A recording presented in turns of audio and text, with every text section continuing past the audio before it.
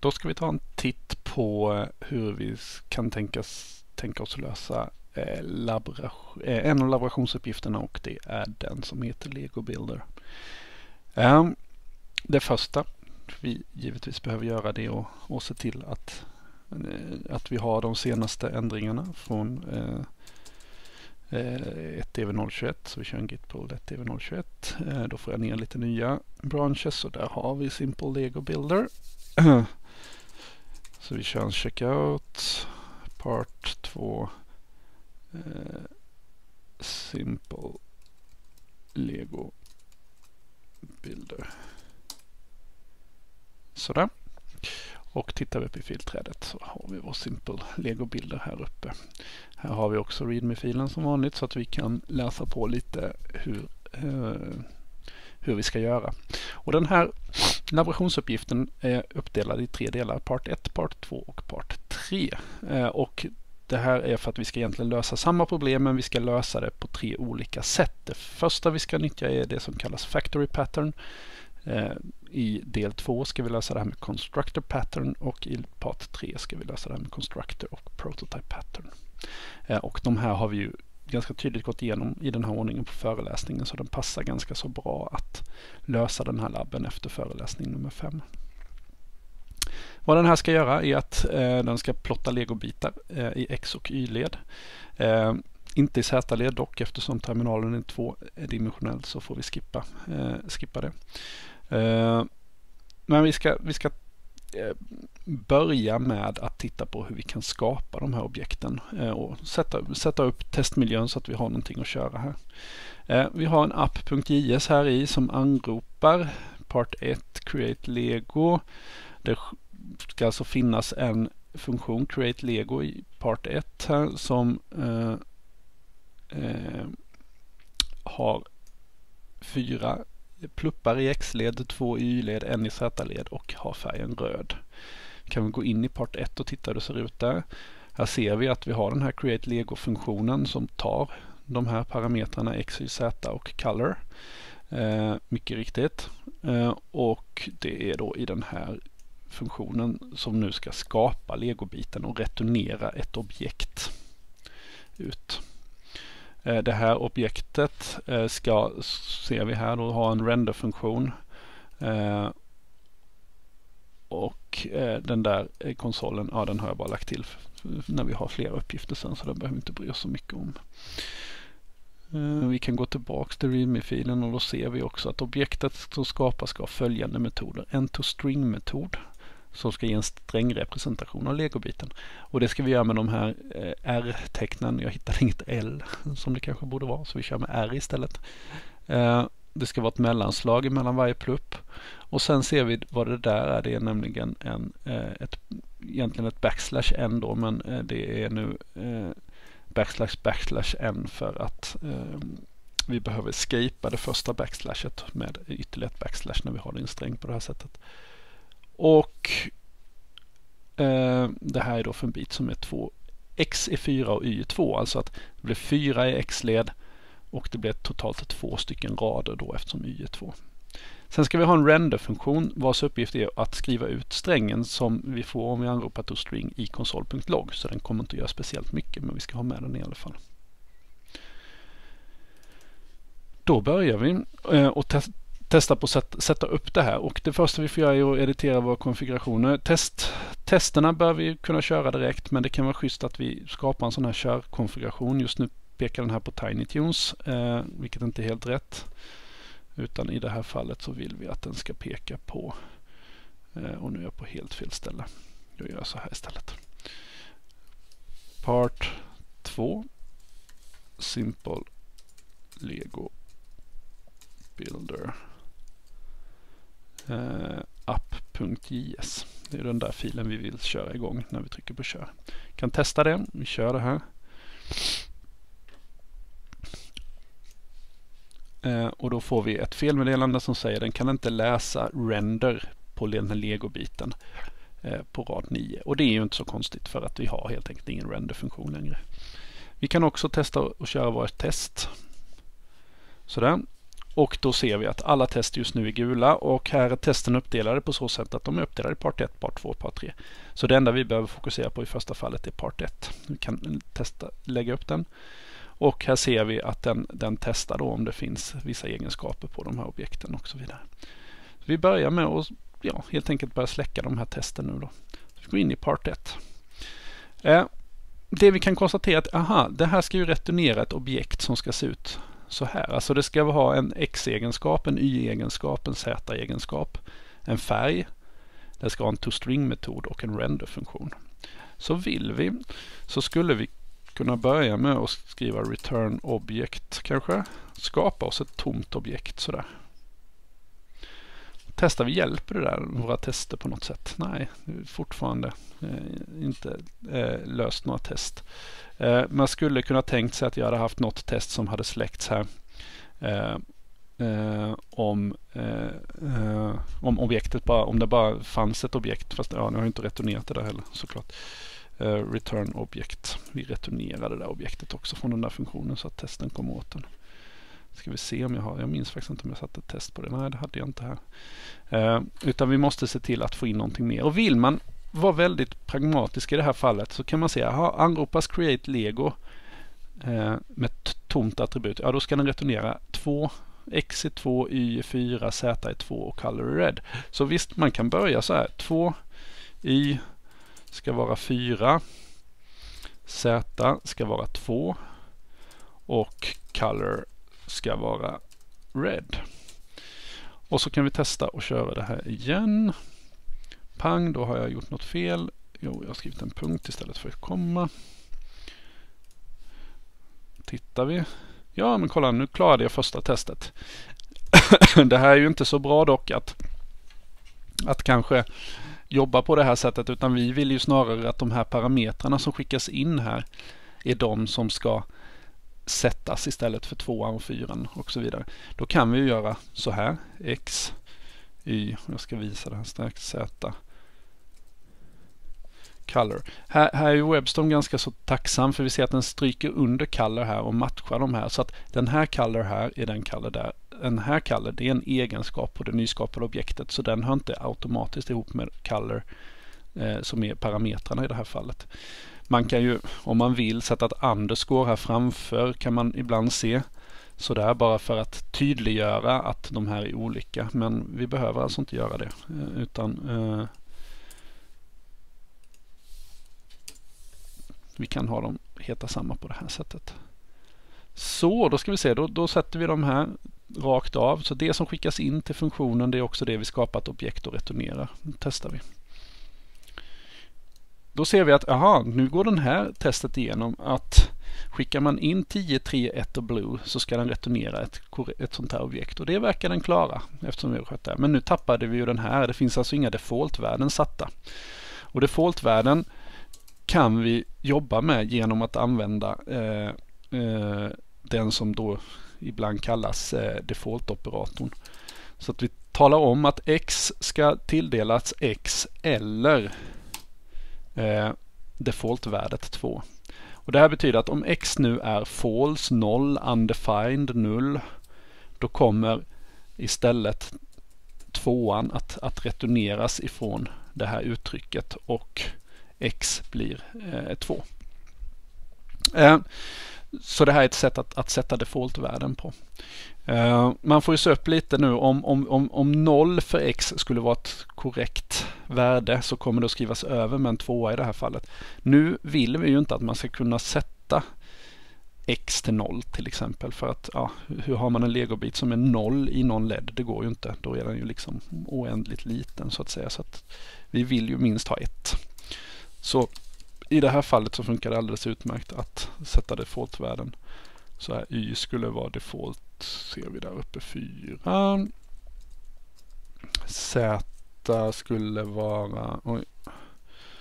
Eh, ett va? Nej, två står det där.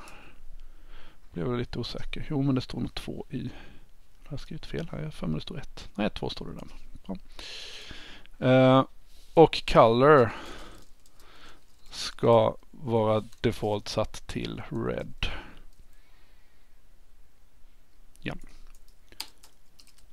Så. Så nu har vi löst våra defaultvärden. Gnäller den om där? Har jag glömt något? Ja, vi får se när vi sparar så kanske den försvinner. Jajamän. Så kör vi våra tester igen. Titta. Och nu verkar det som att ingenting fungerade. Eh, och vad har jag då gjort för fel kan man fråga sig. Jag måste ha missat något någonstans.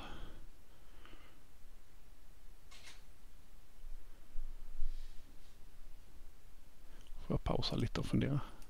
Ja, det gick ju ganska snabbt att hitta. Är man lite klantig och kopierar lite för snabbt så sådär. Eh, jag hade glömt att skriva Z där. Så, ja, och då ser vi nu går de här grundtesten igenom så att våra egenskaper nu på det här objektet de är helt korrekt. Dock om vi tittar på nästa test så står det att returned Lego, returned object should have toString method. Vi har ingen toString method. Eh, vi har här att toString should render correct så att den gör test att den renderar korrekt också och den ska också ha en render-metod. Vi har ingenting av det här. De här kan vi nu, nu kan vi göra, vi kan göra det här på jättemånga olika sätt. Eh, JavaScript är ju väldigt flexibelt på det sättet. Vi skulle kunna tänka oss att vi skapar oss en funktion inuti den här funktionen som heter toString. Eh, och sen så eh, skriver vi vår kod som ska göras här i. Eh, vi returnerar, i det här fallet så returnerar vi bara testar. Sådär, från vår toString-metod. Gör alltså ingenting mer än att returnera strängen testar i det här fallet. Eh, nu så ska vi se till att, att, att det här objektet har tillgång till den här funktionen. Eh, då skulle vi härefter kunna skriva så här. Return obj.tostring tilldelas vår funktion toString. Vi skulle kunna göra så där och tala om att referensen till den här funktionen toString ska tilldelas return-objektets toString. Eh, eller tvärtom, return-objektets toString eh, referens ska tilldelas den referens som finns till det här objektet. Det är ett ganska bökigt sätt att göra det på. Eh, jag skulle väl kanske kunna föredra att, att vi formaterar upp det här objektet vi håller på att jobba på här uppe lite. Och så gör vi så här istället. Eh, att vi här skriver toString. Och här skulle man då kunna ja, tala om att den här toString på objektet ska tilldelas referensen toString som finns utanför objektet och vi ser att de här matchas ihop på det där sättet. Vi ska komma där också. Eh, det här är ett sätt att göra det på men vi kan hoppa över ett steg och helt enkelt se till att vi skapar funktionen redan här. Eh, så. så att vi på objektet talar om att vi ska ha en metod. Det heter ju ofta metod när en egenskap som pekar på en funktion blir en metod. Så toString-metoden här ska vara en funktion som returnerar bara strängen testar nu då. Tar vi bort det där och så kör vi det här ska vi se vad som händer. Mm, då ser vi här att vi får ett grönt test till. Returned object should have a toString method. Och nu, nu har den ju faktiskt en toString-metod men vi ser att ja, den ska rendera korrekt också. Den, den, förväntar sig att det ska komma ut den här texten men det som egentligen kommer ut det är bara objekt-objekt. Som är alltså default-funktionaliteten. Eh, ja, det borde det inte göra. Det borde komma ut testar i det här fallet. Mm -hmm. Uh, det var ju spännande. Ja, vi får... Det var jättemärkligt. Um, mm, mm, jag har formaterat det lite knasigt men det ska inte spela någon roll. Vi testar igen. Jag är lite osäker. Varför den gör så. Ja, där.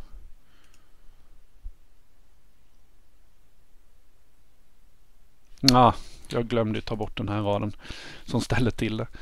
Eh, den sätter, sätter om just nu. ja det var ju lite spännande. Just nu så sätter den där om Den skriver över det som jag har skrivit här uppe och så sätter den om det till den inbyggda toString-metoden. Så den där skulle jag ju tagit bort också när jag jobbade med den där. Så. Då kan vi gå in och titta. Nu ser vi att det blir rätt. Va? Den förväntar sig det där men den skriver ut testar. Så att, ja, men vad bra. Då vet vi att allting är rätt. Och här ser ni ju faktiskt fördelen med att testa ofta och bara titta vad som skrivs ut för då hittar man felen fortare. Hade jag skrivit mer kod nu så hade jag haft svårare att hitta det här felet som precis uppkom. Eh, Okej, okay, då så ska vi se. Vad ska vi skriva ut? Jo, vi ska skriva ut sådana här eh, R och ett backslash och lite grejer och då får man ju fundera, börja fundera hur ska det här gå till egentligen? Uh, Vill man så skulle man ju bara kunna göra så här. Kopiera det där och returnera det. Sådär och så testa det här. Och se att allting fungerar. Ah, titta, den gör precis vad den ska. Härligt. Eh, oj. Eh, eh, men den kommer ju inte att fungera för, för alla fall nu. Så att mm, det där är inte riktigt korrekt sätt att göra det på. Vi måste generera upp det här automatiskt. Då. Här har vi ett antal givna parametrar. Vi vet hur många är i x-led vi ska skriva ut och vi vet hur många rader vi ska skriva ut. Så vi vet x och vi vet y från början. Och när man har givna värden, som ska, något som ska göras flera gånger, då ska man direkt tänka på for-loopar. För vet vi redan från början hur många gånger någonting ska göras, då är for-loopen alldeles utmärkt. Ja, vi kan väl börja. Vad ska vi först loopa? Eh, det jag skulle rekommendera i det här fallet, alltså man skulle kunna tänka sig att vi tar det här i steg. Vi börjar med att bara skriva ut så många x vi har. Vi kan väl testa det. Eh, då behöver jag någon form av variabel här, eh, någonting att iterera över och vi kan väl kalla den för xc. Och vi, eh, eh, bara så att vi har en variabel sådär. Och så sätter vi xc till 0 från början. Så vi börjar på 0 och så länge som xc eh, är mindre än. Och nu måste vi komma åt x-värdet. Vi skulle faktiskt i det här fallet kunna skriva x. Sådär. För med hjälp av eh, eh ja, det här att vi är en inre funktion här så kan man alltid gå ut och leta i den yttre funktionen och då kommer vi hitta x så här så att vi kommer liksom att, att, att kunna slå upp den. Men eh, i det här fallet så skulle jag nog tycka att det ändå är att vi har ett stängt objekt här. Då är det bättre att vi nyttjar det här objektet och, och för att komma åt den här x på det här objektet då får vi använda nyckelordet this. Så vi skriver this.x och då så talar vi om att okej, okay, loopa här från 0 och så länge som vi är mindre än x. Så att är x 4 så kommer vi loopa 0, 1, 2 och 3. Och det är alltså fyra gånger så att då blir det rätt antal gånger. Och sen så ska vi i varje iteration öka xc med 1. Så. Vi börjar med den där. Då har vi en loop som loopar fyra gånger om x är 4. För varje loop så ska vi skriva ut ett sånt här R, så vi kopierar det här R. Eh, vad ska vi skriva ut? Ska vi returnera det direkt så här? Det blir inte riktigt bra för då kommer i första iterationen så, så returneras to string så det funkar inte. Utan generellt sett när man ska bygga upp strängar så kan man all, nästan alltid skapa sig någon form av tom temporär sträng. Så här, jag döper den till str som är tom från början. För då kan vi i varje iteration se till att SDR adderar ett sånt här R-tecken nu då. Okej, okay, testar vi och skriver ut STR här. Så kör vi våra tester igen. Uh,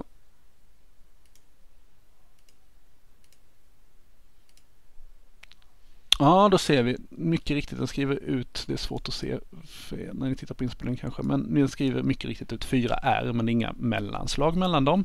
Så det måste vi få till. Eh, och eh, så småningom så behöver vi kunna skriva ut rader också. Men vi kan väl eh, kanske fundera lite på de här med mellanslagen först. Ehm, och här skulle man kunna nyttja och Alltså, det är som så att den ska skriva ut mellanslag nu för 0, 1 och 2. Men om xc är 3 så ska den inte skriva ut ett mellanslag. Eh, för då ska den istället senare göra en radbrytning. Eh, och då kan man nyttja den här villkorsoperatorn. Så vi kan tala om att strängen ska addera någonting till sig. Och den ska addera det här beroende på ett villkor. Så då skriver vi villkoret. Om xc är mindre än, och då sa vi 3 va, men vi vill ju inte hårdkoda in 3 utan vi tar this x minus 1. Det är ju samma sak som 3. Eh, så om den är mindre än 3 då använder vi den här villkorsoperatorn, frågetecknet, då ekar vi ut ett mellanslag och annars ekar vi inte ut ett mellanslag. Det här kan man ju om man vill skriva som if xc mindre än this x minus 1. Nu slintar jag på tangenterna mycket. Så ska str plus lika så else str plus lika så. Fast den där gör ingenting så då kan vi optimera så kan vi ta bort den där. Så ja, antingen gör vi sådär eller så gör vi sådär. Eh, I det här fallet, det där görs på en rad men kan se lite bökigare ut. Den där är kanske tydligare. Okej, vi skippar den då. Så kör vi med en vanlig if-sats i det här fallet. Så, då testar vi igen.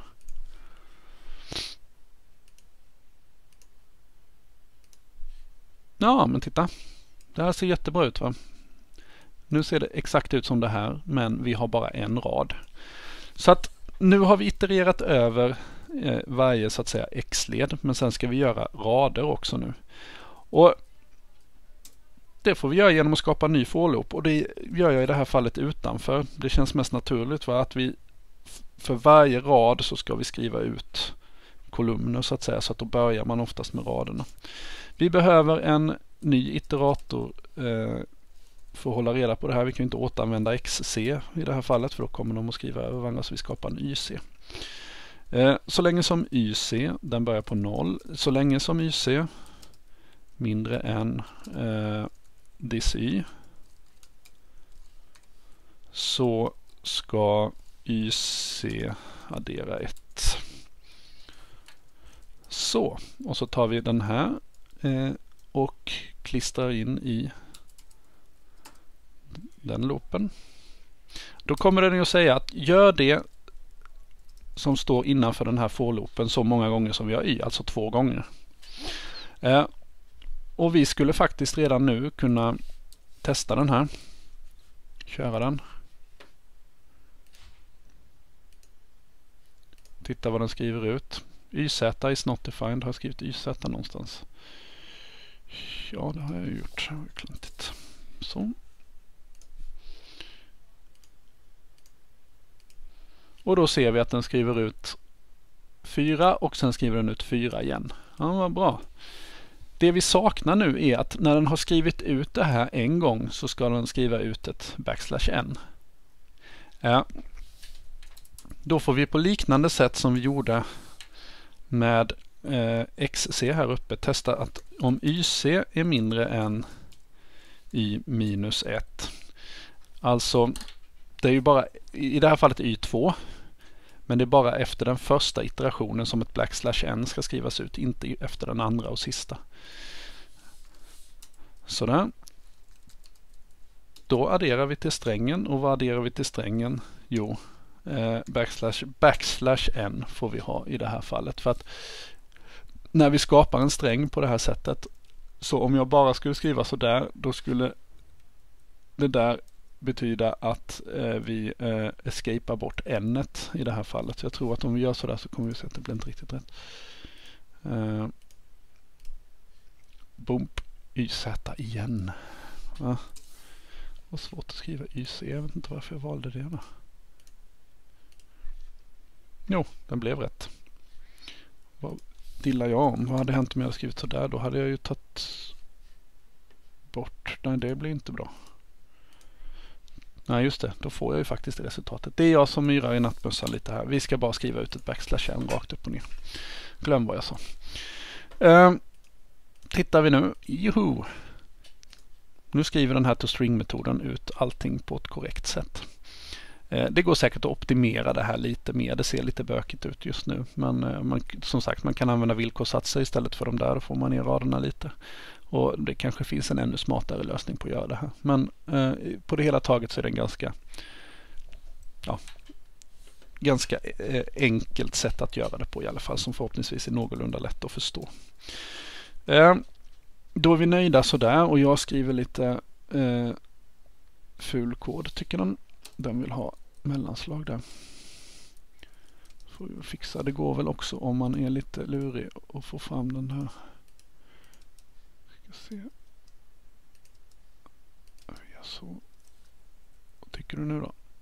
Om det mesta. Vad säger den där? Uh, should not stick to proceed. Operator should not stick to proceeding expression space by. Jaha, vill den ha så? Den tyckte inte om det där sättet att skriva det på. Och där vill den ha en sån. Har vi fixat till den så den ser lite bra ut. Och anledningen till att jag gör detta nu är för att vi kommer nog kopiera lite kod här. Så då är det bra om den är rätt från början. Okej, vad saknar vi nu? Jo, ska ha en render-funktion. Säger den. Vi måste ha en render-funktion också. Eh, vi har en toString-metod skapat. Då gör vi en render också. Eh, render som ska vara en funktion. Och vad ska render-funktionen göra kan vi läsa i dokumentationen. Jo, den ska bara skriva ut eh, det här objektet nu då. Console.log this toString. Så nu anropar vi det här objektets toString-metod och så skriver vi ut det där direkt i loggen. Um, testa. Woohoo, part 1 är uppfylld. Sådär. Nu kan vi också köra den här applikationen om vi vill med kör. Och då kommer vi att se att eh, den också skriver ut den här legobrickan på ett korrekt sätt i, i loggen, vilket ju inte är så dumt. Eh, Vad klagar den på där? Newline, jaha den vill ha det så. För att det var ett block där. Troligtvis, eller? Ja, ibland är de lite tjuriga. jag hade inte velat ha den så. Uh, då är vi klara med del 1 och ska gå över till del 2. Nu har vi egentligen löst hela uppgiften här. Nu ska vi bara skriva det här på lite olika sätt. Eh, tittar vi i README vad vi ska göra i del 2 så ska vi använda Constructor Pattern. Och det är ju som så här att vad den här Lego Part 1 gör nu är att när vi anropar den ifrån app Create Lego så skickar vi in 421 och red och tillbaka får vi ett objekt och det här funkar ju jättebra. Jag skulle kunna skapa ett nytt objekt. Eh, då kan det vara bra att ha den där loggmetoden där förresten. Eh, Lego 2. Som ska se lite annorlunda ut. Den kanske ska vara en 4 gånger 4 Blue. Eh, Lego 1, 2, render. Så anropar vi utskrift på den också. Kör vi dem där. Då ser vi, då får vi en 4x4 utskrift och en 2x2 utskrift. Eller 2x4 utskrift. Så att ja, det här funkar ju jättebra för att skapa nya objekt. Inga problem. Eh, det finns vissa nackdelar med det här och skapar vi väldigt många objekt så kommer vi att duplicera kod väldigt, väldigt mycket här. Så att vi ska börja titta på det här som heter Constructor Pattern istället. Eh, och Då går vi in i del två här. Och här ser vi, här är det redan förberett nu med en konstruktorfunktion Lego som tar parametrarna x, y, z och color på det här sättet.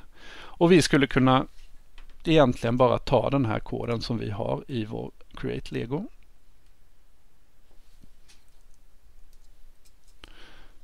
Oops, jag ska inte klippa ut den. Vi vill fortfarande ha de där testerna. Och klistrar vi in den i den här istället. Eh, då är det här en konstruktorfunktion. Den kommer anropas med new. Vi kommer att sätta våra defaultparametrar. Vi kommer att skapa ett objekt som vi sen kommer att returnera. Hmm.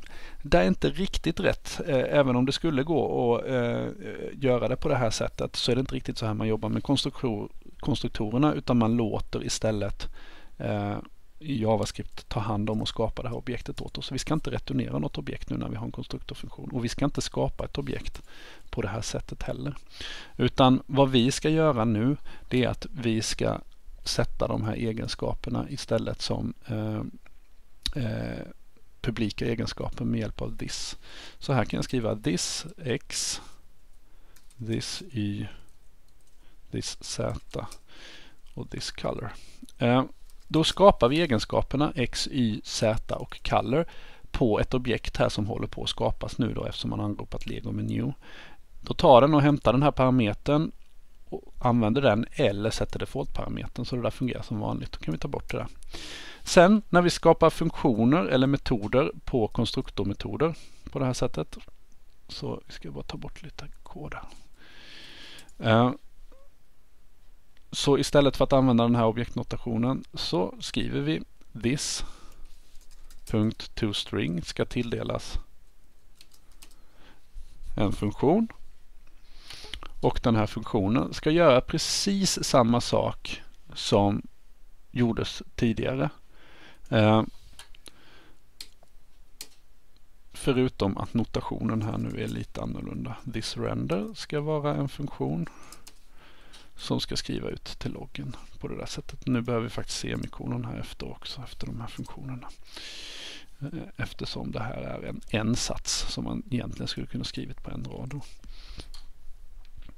Eh, så vad vi har gjort nu är att vi har konverterat det här objektet till en konstruktorfunktion istället. Vi kan väl testa att köra den och se hur illa det går. Oj, test.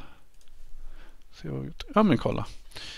Fantastiskt. Den uppfyllde alla testen direkt. Vi har en konstruktor och eh, objekt som instansieras utifrån den här konstruktorn. De ska vara av instansen lego och det är de nu. Vi anropar alltså den här med new lego istället. Eh, och alla metoder verkar göra det de ska. Vi kan väl också testa eh, om vi kör i, ta bort det här helt och hållet. Jag har inte lärt mig snabbt kommandot för det här ännu i Webstorm på Mac. Uh, vi anropar Part 2 Lego med new instansierat objekt som är tomt, skriver ut det och sen så gör vi samma sak fast vi skickar med default-parametrar här då. Så kan vi väl testa och köra detta och se om det fungerar bra. Det verkar ju fungera även här. Men det har varit ett ganska litet steg att ta nu då, eller ja, eh, vi, vi, fick skriva om det lite här men eh, det är ändå samma kodbas. Men nu är det fortfarande som så att skapar jag, när man bygger lego vill man ha många bitar. Skapar vi tusentals bitar här så kommer den här toString-metoden som är, den är inte jättekomplex men den innehåller lite kod, loopar och så vidare. Den här kommer alltså skapas individuellt för varje legobit. Den kommer att sitta på varje legobit. Vilket är väldigt onödigt. Det tar upp minne helt enkelt. Eh, att ha tusen sådana här funktioner.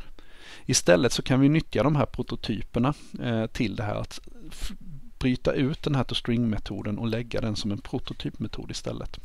Så vi klipper ut den där, går in under konstruktorfunktionen eh, och istället för att det ska stå this to string så ska det nu stå lego.prototype toString så att vi flyttar toString-funktionen, lägger den på prototypfunktionen istället. Eh, sådär. Kör våra tester för det, får bara se vad som händer. Ja, det var ju klantigt. Du, du, du, du, du, då gör vi om. Så. Vi kopierar den där koden och går över till part 3. Det är ju där vi har testerna för det här. Så kopierar vi in den där. Så. Och tar och flyttar toString till under här har jag till och med skrivit lite snällt var den ska ligga. Och istället för det så skriver vi återigen lego.prototype. Sådär. Allt ser rätt ut där. Vi låter render ligga kvar så länge och så testar vi. Ettan och tvåan går igenom. Trean, ja, testing lego construct, okej. Okay. Det finns en instans av lego, så så långt är det rätt. Den testar konstruktormetoderna. Ja, render and to string should be prototype method, methods. Nej. Eh, då visar det sig att i det här fallet så är det render som inte är det. Men to stringen skriver i alla fall ut korrekt här så att det, det funkar fortfarande. Vi ska också flytta. Den här gör ju inte speciellt mycket får inte jättemycket optimering av att flytta ut den på prototypen, men varför inte? Vi kan väl lika gärna lägga ut den. Så vi lägger ut den utanför konstruktormetoden sådär. Och så testar vi. Och tjoho, allting är grönt. Eh, det är ju ingen funktionalitetsskillnad på de här tre egentligen. Eh, eh, sätten att anropa, eh, skapa de här objekten. De kommer fungera på samma sätt. Ja, förutom att då i part 2 och part 3 så får vi anropa med new. Men i part 1 som vi hade här så, så, så bara anropade vi create eh, brick eller create lego så, så fick vi den här direkt till oss. Men det är liksom ingen större skillnad i, i funktionalitet. Vi såg om vi kunde kopiera den här koden i de här olika stegen. Men det är alltså en skillnad i, i lite användning och minnesanvändning speciellt. Då. Så att i det här fallet som vi har i part 3 så är det ju det mest optimerade nu att vi bara har en, oavsett hur många legobitar vi har så har vi bara en instans av toString och en eh, instans av eh, render som finns. Så det skapas inte en för varje bit. Vilket optimerar det här. Det enda, som, enda kod som körs för varje legobit är de här grejerna. Ehm, och beroende på hur långt du har kommit i kursen så har du sett att det vi kommer att titta på framöver är att se hur ska vi kunna skydda de här X och Y så att vi inte kan gå in och ändra en legobit i efterhand på, på felaktigt sätt eller råka skicka in en sträng eller vad det kan tänkas vara här. Ehm, så, sådana grejer kommer ju i de kommande labbuppgifterna men fram, fram nu så, så gäller det bara att försöka vara med på de här tre stegen hur man kan skapa flera olika, alltså skapa många objekt utifrån en, en mall. Så ja, lycka till med, med nästa labbuppgift nu.